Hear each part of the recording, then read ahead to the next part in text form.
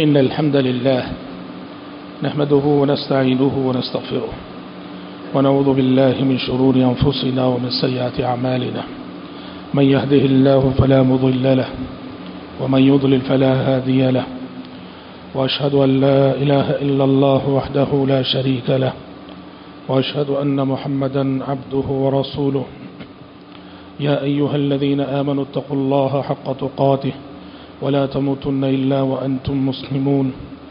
يا أيها الناس اتقوا ربكم الذي خلقكم من نفس واحدة وخلق منها زوجها وبث منهما رجالا كثيرا ونساء. واتقوا الله الذي تساءلون به والأرحام. إن الله كان عليكم رقيبا. يا أيها الذين آمنوا اتقوا الله وقولوا قولا سديدا. يصلح لكم أعمالكم ويغفر لكم ذنوبكم. ومن يطع الله ورسوله فقد فاز فوزا عظيما.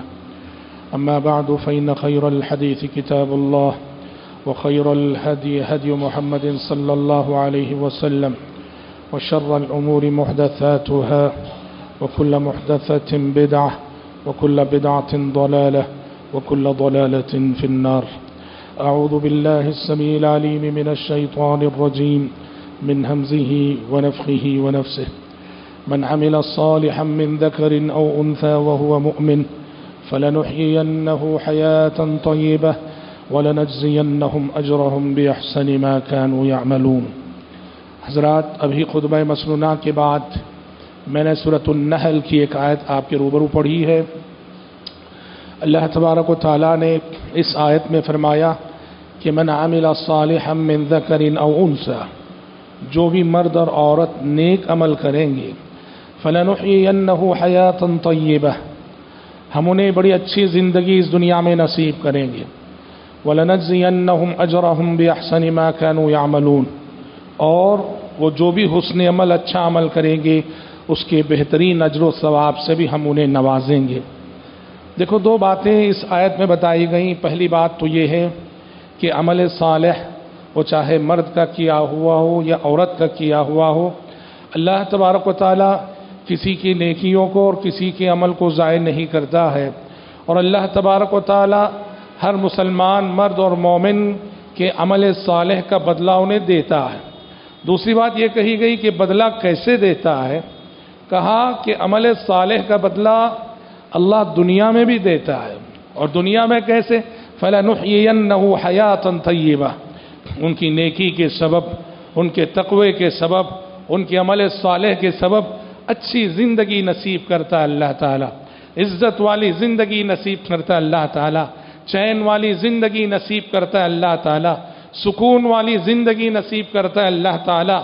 راحت والی زندگی نصیب کرتا اللہ تعالیٰ۔ نیک نامی نصیب کرتا اللہ تبارک و تعالیٰ۔ عزت و سر بلندی نصیب کرتا اللہ تبارک و تعالیٰ۔ تو عمل صالح کا، نیک عمل کا پہلا بدلہ، پہلا صلہ آخرت سے پہلے دنیا میں اللہ مومن کو اچھی زندگی، پرسکون زندگی اور زندگی کی پرسکون سانسوں کی شکل میں دیتا ہے۔ اور پھر کہا، وَلَنَجْزِيَنَّهُمْ أَجْرَهُمْ بِأَحْسَنِ مَا كَانُوا يَعْمَلُونَ۔ اور آخرت کا اجر و ثواب تو ہے ہی، جو بھی حسن عمل کرے گا اچھا عمل کرے گا، اس کو آخرت میں تو نوازا ہی جائے گا۔ حضرات دیکھیے، یہ دنیا دار العمل ہے، آخرت دار الجزا ہے۔ یہاں ہم عمل کرنے کے لیے آئے ہیں۔ یہاں ہمارے اعمال کا بدلہ ملے کہ نہ ملے، یہاں عمل کرنا ہے، عمل کرتے رہنا ہے، اس لیے کہ دار العمل ہے۔ اور آخرت ہے جو کہ دار الجزا ہے، جہاں ہمارے اعمال کا بدلہ ہمیں ملا کرتا ہے۔ یہی اصل قانون ہے کہ دنیا دار العمل ہے اور آخرت دار الجزا ہے۔ وہ بدلے کا گھر ہے، وہ بدلے کا مقام ہے۔ لیکن یہ بات بھی یاد رہے کہ اللہ تبارک و تعالیٰ کا ایک قانون، اللہ تبارک و تعالیٰ کا ایک دستور اور اللہ تبارک و تعالیٰ کی ایک سنت یہ بھی رہی ہے کہ وہ انسان کے پورے اعمال کا بدلہ آخرت میں نہیں دیتا۔ آخرت میں تو دے گا ہی، لیکن کچھ اعمال ایسے ہیں، عمل صالح بھی، برے اعمال بھی، کہ ان کا بدلہ انسان کو دنیا میں بھی جزوی طور پر ملتا ہے۔ عدل و انصاف فقط حشر پہ موقوف نہیں۔ عدل و انصاف فقط حشر پہ موقوف نہیں، زندگی خود بھی گناہوں کی سزا دیتی ہے۔ تو اس طرح محترم بھائیوں، اللہ کا یہ بھی ایک دستور ہے، یہ بھی ایک قانون ہے کہ ہمارے جو بھی اعمال ہیں، ہمارے اعمال کا بدلہ جزوی طور پر آخرت سے پہلے دنیا میں بھی وہ دیتا ہے۔ اور خاص کر عمل صالح کا بدلہ، نیک اعمال کا بدلہ۔ اور اس سے ایک قدم آگے بڑھتے ہیں۔ تو اللہ کا ایک قانون یہ بھی ہے۔ جب اس کا ایک قانون یہ ہے کہ جزوی طور پر ہمارے اعمال کا بدلہ دنیا میں بھی مل سکتا ہے اور دیا جاتا ہے، تو پھر اس بدلے دیے جانے کی ایک شکل اللہ کے پاس یہ ہے کہ آبا و اجداد کے اعمال کا بدلہ وہ ابنا و احفاد کو دیتا ہے۔ عمل کرنے والا تو پاتا ہی ہے اچھا عمل کرے تو نیکیاں پاتا ہے، برا عمل کرے تو گناہ پاتا ہے، لیکن اللہ کا ایک قانون ہے۔ آبا و اجداد والدین جیسے ہوتے ہیں، آبا و اجداد جیسے ہوتے ہیں، وہ اچھے ہوں کہ برے؟ اس کا اثر کہیں نہ کہیں اولاد میں، ان کی آنے والی نسلوں میں نظر آتا ہے۔ اور یہ بھی اللہ تبارک تعالیٰ کے قانون ہے دیکھو، آخرت کے اعتبار سے اللہ کا قانون کیا ہے؟ ولا تذر واضح وزرا خورا یہ آخرت کے سلسلے میں۔ میرے عمل کا ذمہ دار میں ہوں، میرے عمل کے سلسلے میں آپ سے پاس پرس نہ ہوگی۔ آپ کے عمل کے ذمہ دار آپ ہیں۔ آپ کے عمل کے سلسلے میں مجھ سے پاس پرس نہ ہوگی۔ بیٹا اپنے عمل کا جواب دے ہے۔ باپ اپنے عمل کا جواب دے ہے۔ شوہر اپنے عمل کا جواب دے ہے۔ بیوی اپنے عمل کے جواب دے ہے۔ ایک کے عمل پر دوسرا جواب دے نہیں ہے۔ ایک کی غلطی پر دوسرے سے پوچھا نہیں جائے گا۔ باپ کی غلطی پر بیٹے کو سزا نہ ہوگی، بیٹے کی غلطی پر باپ کو سزا نہ ہوگی، شوہر کے گناہ پر بیوی کو پکڑنا ہوگی، بیوی گناہ کرے تو شوہر کو پکڑنا ہوگی۔ یہ آخرت کے سلسلے میں اللہ کا اٹل قانون ہے جو قرآن بتاتا ہے، وَلَا تَزِرُ وَازِرَةٌ وِزْرَ اُخْرَى۔ کہ کوئی شخص کسی دوسرے کا بوجھ نہیں اٹھائے گا، کوئی شخص کسی دوسرے کے عمل کا ذمہ دار نہ ہوگا، ہر شخص اپنے اپنے عمل کا ذمہ دار ہوگا، یہ حشر کی عدالت کا انصاف ہوگا۔ لیکن یہ جو دنیا ہے، دنیا میں بھی اللہ کے کچھ قوانین ہیں، دنیا میں بھی اللہ کی کچھ سنتیں ہیں، دنیا میں بھی اللہ تبارک تعالیٰ کے کچھ دستور ہیں، اس میں سے ایک یہ یہ بھی ہے، ماں باپ اگر نیک ہوں والدین اگر نیک ہوں، آبا و اجداد اگر نیک ہوں، خاندان کے گزرے ہوئے لوگ اگر نیک ہوں، ان کی نیکی، صالحیت اور تقوی کا اثر ان کی ضروریت دیکھتی ہے ان کی آنے والی نسلیں دیکھتی ہیں۔ اللہ تبارک و تعالی آبا و اجداد کی نیکی، صالحیت اور تقوی کا بدلہ ان کی نسلوں کو، ان کی ضروریت کو ادا کرتا ہے۔ اور یہ عمل صالح کی کے لیے بہت بڑے شرف کی بات ہے۔ عمل صالح کرنے والے کے لیے، نیک عمل کرنے والے کے لیے، تقوی کی زندگی جینے والے کے لیے بڑے شرف اور اعزاز کی بات ہے کہ اس کی صالحیت اور تقوی کا اثر اس کی آنے والی نسلیں دیکھتی ہیں۔ قرآن مجید نے احادیث میں اگر اس پہ غور کرتے ہیں تو کئی ایک مثالیں ہمیں ملتی ہیں۔ مشہور مثال تو ہم نے بارہا سنی ہوگی۔ حضرت موسا و خضر علیہ السلام کا واقعہ۔ موسا و خضر علیہ موسا علیہ السلام نے خضر علیہ السلام کی صحبت اپنائی ان سے کچھ سیکھنے کے لیے۔ شرط یہ رکھی خضر علیہ السلام نے، میں کچھ بھی کروں، سوال نہیں کرنا، پوچھنا مت، اعتراض نہیں کرنا۔ موسا علیہ السلام نے شرط منظور کی صحبت اختیار کی۔ لیکن خضر علیہ السلام ایسے کام کر رہے تھے جہاں موسا علیہ السلام سے صبر نہیں ہو رہا تھا۔ حالانکہ وہ وعدہ کر چکے تھے، میں پوچھوں گا نہیں، اعتراض کروں گا نہیں، لیکن ہر بار موسا علیہ السلام سے اعتراض ہو گیا۔ سوال کر بیٹھے۔ اور بعد میں خز تین بار ایسا ہونے کے بعد خضر علیہ السلام نے وہ جو تینوں اقدامات انہوں نے کیے، اس کے پیچھے کی جو حکمت تھی وہ سمجھائی۔ اس میں سے ایک موقف قرآن یہ کہتا ہے کہ موسا علیہ السلام، خضر علیہ السلام ایک بستی میں داخل ہوئے۔ حتى إذا أتيا أهل قرية استطعما أهلها فأبوا أن يضيفوهما فوجدا فيها جدارا يريد أن ينقض فأقامه.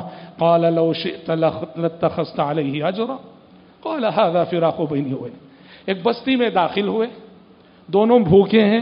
موسا علیہ السلام بھی بھوکے ہیں. خضر علیہ السلام بھی بھوکے ہیں. ایک بستی میں داخل ہوئے.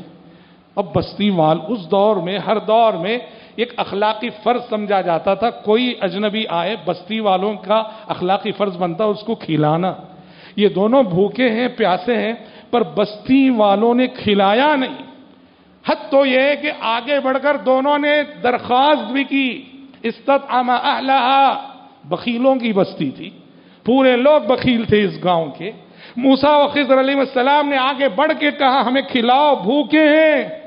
ارے آج کی طرح سے ہوٹلوں کا کلچر تو نہیں تھا کہ جیب میں پیسہ ہے، ہوٹل ہے، کسی بھی گاؤں میں جب ہم بھوکے نہیں رہیں گے۔ اس زمانے میں اگر بستی والے نہ کھلائیں، گھر والے نہ کھلائیں تو مسافر بھوکا۔ ہوٹلوں کا کلچر نہ تھا۔ تو موسا و خضر علیہ السلام پوچھ بیٹھے، ہم بھوکے ہیں، کھلاؤ۔ مگر اتنے بخیل یہ لوگ درخواست کرنے پر بھی، پوچھنے پر بھی بستی والے کھلائے نہیں۔ اتنے میں قرآن کہتا ہے، فوجدا فیہا جدارا یرید ان ينقض فاقاما۔ ایسے بخیل لوگ ایک وقت کا کھانا نہیں کھلائے۔ اس سے میں آگے بڑھ رہے تھے۔ اس بستی کی ایک دیوار کو گرتے ہوئے پایا۔ گرنے ہی والی تھی۔ قرآن کہتا ہے، خضر علیہ السلام آگے بڑھے۔ آگے بڑھ کے اس دیوار کو سہارا دے کے کھڑا کر دیا۔ گرنے نہیں دیا۔ موسا علیہ السلام سے رہا نہیں گیا۔ اعتراض کر بیٹھے۔ کہ یہ بخیل لوگ جو ایک وقت کا کھانا ہمیں کھلائے نہیں، ان کے ساتھ آپ کو یہ احسان نہیں کرنا چاہیے تھا۔ اور اگر یہ کام آپ نے کیا بھی، اس کی اجرت لے لیتے۔ دیوار جو گرنے والی تھی، اس کو آپ نے کھڑا کیا نا، ارے کم سے کم ان بخیلوں سے اس کی اجرت تو لے لیتے آپ۔ قال لو شئت لاتخذت اجرا۔ خضر علیہ السلام نے کہا، یہ تھرڈ ٹائم تھا، یہ سوال جو ہو گیا۔ موسیٰ علیہ السلام نے جو کہا، کیوں کھڑا کیے؟ اجرت تو لے لیتے. خضر علیہ السلام نے کہا هذا فراق بینی و بینی. کہا کہ دیکھو، تین بار ہو گیا، اب ہم دونوں ایک ساتھ نہیں رہ سکتے، یہ میرے اور تمہارے درمیان جدائی کی گھڑی ہے۔ وجہ شاہد کیا ہے؟ خضر علیہ السلام نے آگے جو تینوں واقعات کی تفسیر کی، تو یہاں جو دیوار گر رہی تھی، اور دیوار گرتی، دیوار کو سہارا دے کے انہوں نے جو کھڑا کیا، اس کی حکمت یہ بتائی، سچ ہے کہ بخیل لوگ ہیں، بخیل لوگوں کا گاؤں ہے، بخیل لوگوں کی بستی ہے، اخلاق سے گرے ہوئے لوگ ہیں کہ مانگنے پر بھی انہوں نے کھلایا نہیں، مگر میں نے یہ گرتی دیوار اس لیے کھڑی کر دی کہ وہ ام الجدار فکان لغلامین یتیمین فی المدینہ۔ یہ دو یتیم بچوں کے گھر کی دیوار تھی۔ دو یتیم یتیم بچے ننے معصوم بچے، ان کے گھر کی دیوار تھی۔ وکان ابوہما صالحا۔ اور ان کا جو باپ تھا نا، وہ بہت نیک انسان رہا۔ بہت نیک انسان رہا۔ چونکہ باپ نیک تھا، نیک باپ کی اولاد ہے یہ، نیک باپ کے یتیم بچے ہیں یہ۔ تو اللہ کا اشارہ ہوا خضر علیہ السلام کو کہ ان کا باپ نیک تھا۔ اور اس دیوار کے نیچے ان دو یتیم بچوں کے لیے باپ خزانہ چھوڑ گیا وہ کہنا چاہتا ہوں کنز الحما اس دیوار کے نیچے ان دو یتیم بچوں کا خزانہ ہے۔ وہ کہنا ابو ہوما اور ان کا باپ نیک ہے۔ تو اللہ کی مشیت ہوئی کہ ان کے خزانے کی حفاظت ہو، کیونکہ نیک باپ کے بچے ہیں یہ۔ اور حضرات، آپ کو معلوم ہے، ابن عباس فرماتے ہیں اس آیت کی تفسیر میں یہاں جو کہا گیا کہ ان کا باپ نیک تھا، ابن عباس کہتے ہیں، یہاں باپ سے مراد دادا۔ باپ سے مراد دادا ڈائریکٹ باپ نہیں، اور دادا بھی کون سا؟ ابن عباس، امام المفسرین فرماتے ہیں، ان بچوں کے اجداد میں سے ساتویں نمبر کا دادا جس باپ کے نیک اور متقی ہونے کی بات یہاں کہی جا رہی ہے، کی جا رہی ہے، وہ ان بچوں کا دادا تھا جو ڈائریکٹ دادا نہیں پڑ دادا نہیں، ساتویں نمبر کا دادا۔ مطلب یہ ہوا، آبا و اجداد جو ہمارے گزرے ہیں، اگر وہ نیک سالے متقی رہے ہوں، ان کی صالحیت اور ان کے تخوے کا اثر ساتویں نسل بھی دیکھ سکتی ہے۔ ساتویں نسل بھی دیکھ سکتی ہے۔ یہ کتنا بڑا میسج ہے۔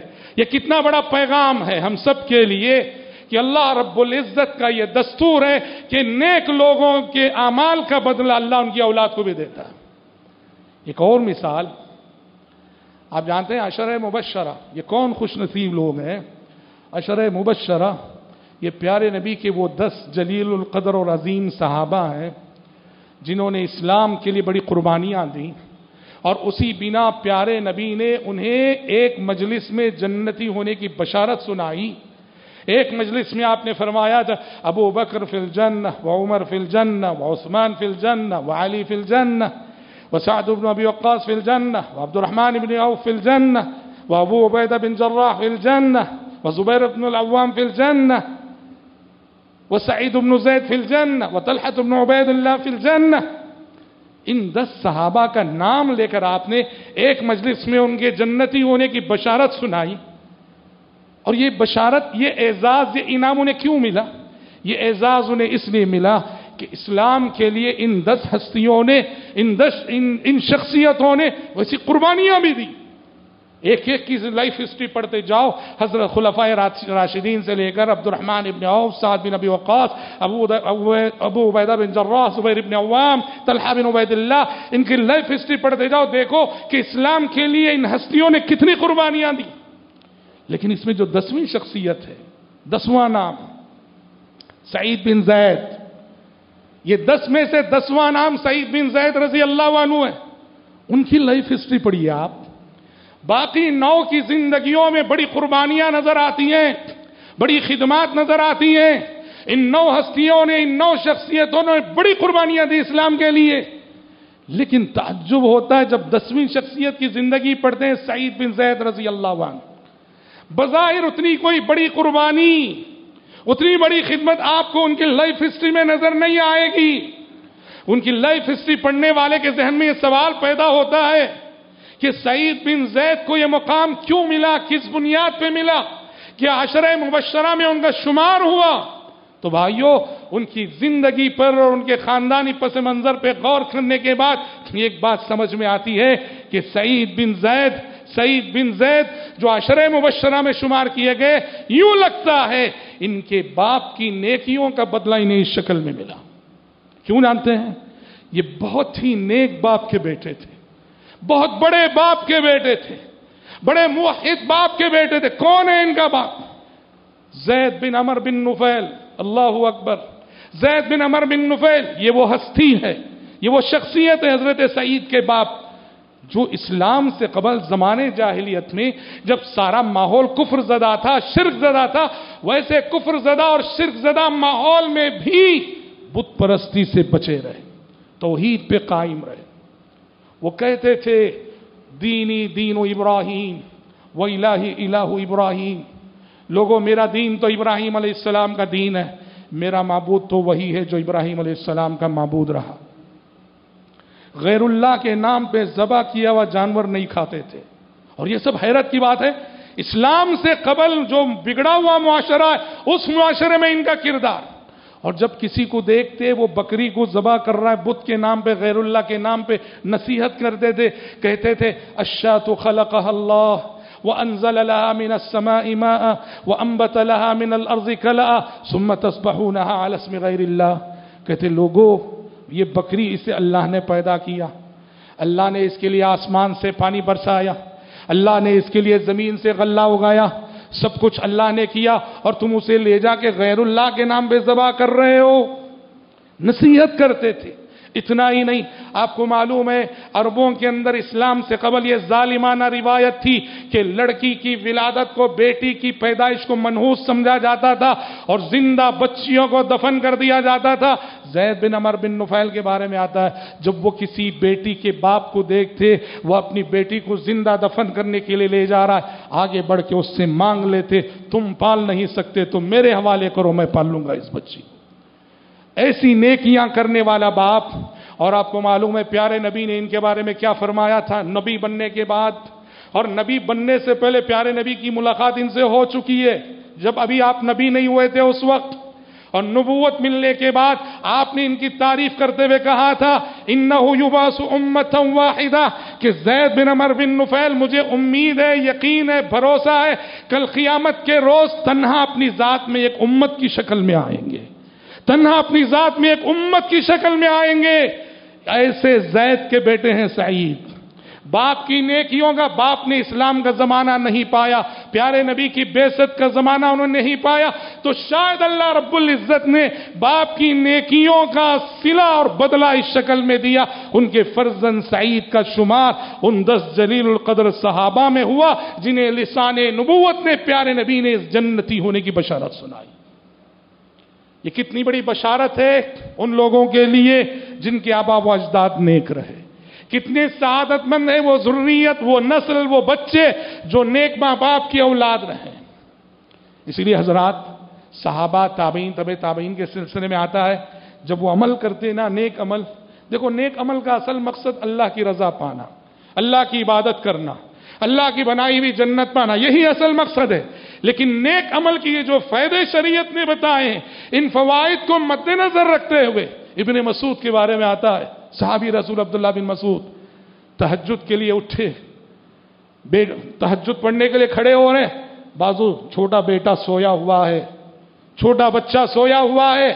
اور اس کو دیکھ کے مخاطب ہو کے کہتے ہیں، من اجلی کا یا بنیا۔ من اجلی کا یا بنیا۔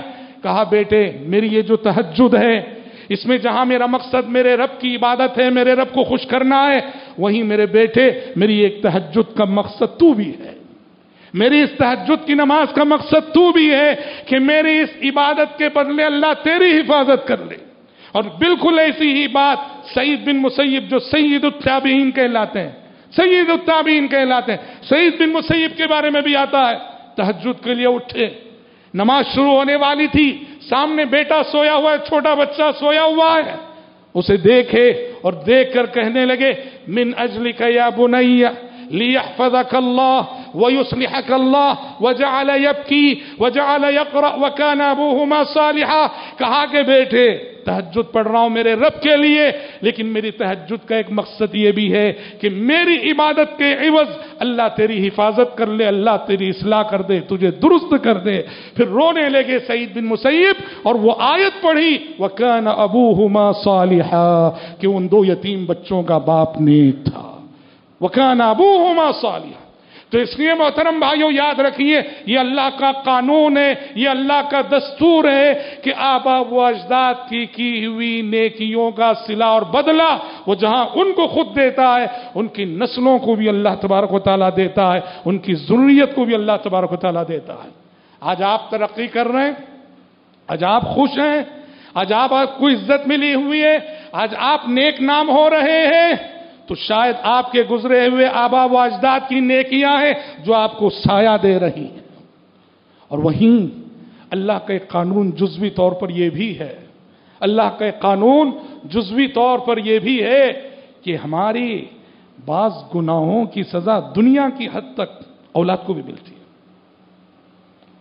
یہاں ڈر جانا چاہیے، سہم جانا چاہیے ان ظالموں کو جو دوسروں پہ ظلم کرتے خصوصاً ایسے گناہ جو مخلوق کے حق میں ہوتے ہیں، جسے ظلم سے تعبیر کیا گیا۔ کسی کا حق مارنا، کسی کا نا حق مرڈر کرنا، کسی کے مال پہ حقداری جتانا، مال میراث کی صحیح طور تقسیم نہ کرنا، میراث کو دبا لینا، بہنوں کو ان کا حق نہ دینا، اپنے اثر و رسوخ کا غلط استعمال کر کے کمزوروں کو دبانا نہ حق ظلم و زیادتی ایسے لوگوں کو، ایسے لوگوں کو جو اللہ کی مخلوق پہ ظلم کرتے ہیں۔ اللہ کی مخلوق کو ستاتے ہیں۔ یہ بھولنا نہیں چاہیے کہ اللہ کا یہ جزوی قانون ہے کہ میرے کیے ہوئے پاپ اور میرے کیے ہوئے گناہوں کی سزا میری ضروریت بھی دیکھ سکتی ہے۔ میری آنے والی نسلیں دنیا، آپ پوچھیں گے ان کا کیا قصور؟ قصور تو میرا ہے، میرے بچے کا کیا قصور؟ دیکھو انسان اولاد کے سلسلے میں بہت حساس مزاج واقع ہوا۔ میرے اوپر آزمائشیں آئے، میں برداشت کر لوں گا، سہ لوں گا، لیکن مجھے منظور نہیں کہ میری اولاد پہ آئے۔ اس لیے اللہ کا ایک قانون ہمیشہ سے یہ ہے کہ اللہ کسی کو سزا دینا چاہتا ہے، عذاب دینا چاہتا ہے، اولاد کے ذریعے سزا دیتا ہے اللہ تبارک و تعالیٰ۔ قرآن پڑھیے، سورہ توبہ وغیرہ میں یہ آئے تھے فلا توجب کا اموالهم ولا اولادهم انما يريد الله ليعذبهم بها في الحياة الدنيا. اے پیغمبر اے پیغمبر، ان لوگوں کا مال، ان لوگوں کی اولاد آپ کو بھلی نہ لگے۔ اللہ تو یہ چاہتا ہے انہیں ان کے مال کے ذریعے عذاب دے، ان کی اولاد کے ذریعے خود ان کو عذاب دے۔ یہ اللہ کا قانون ہے۔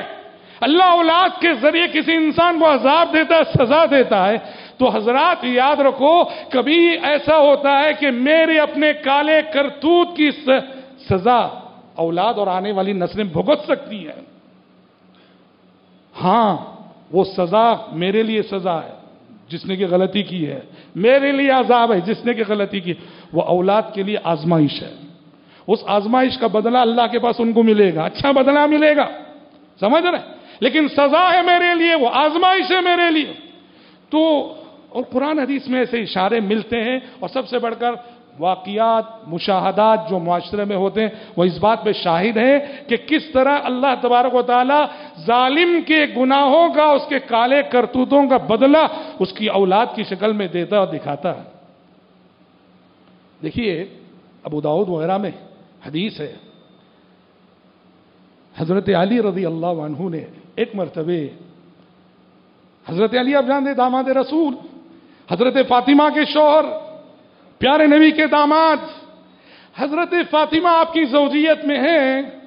حضرت علی رضی اللہ عنہ نے ایک مرتبہ کیا کیا؟ ابو جہل کی بیٹی کو نکاح کرنے کے لیے پیغام بھیجا۔ اور وہ مسلمان تھی، مومن ہو گئی تھی۔ ابو جہل تو آپ جانتے کون مسلمان ہے جو ابو جہل کو نہیں جانتا، اس کی جہالت کو نہیں جانتا؟ پیارے نبی کے دشمنوں میں سر فہرست پہلا نام پہلا نام ابو جہل کا آتا ہے۔ پیارے نبی کو اس نے جو ستایا، پیارے نبی اور صحابہ پہ اس نے جو ستم ڈھائے، اسلام کے قافلے کو بڑھتے ہوئے وہ دیکھ نہیں سکتا تھا۔ اس نے اپنے آپ کو گویا اسلام اور مسلمانوں کو ستانے کے لیے وقف کر دیا تھا۔ ابو جہل، اس کی بیٹی مسلمان ہو گئی۔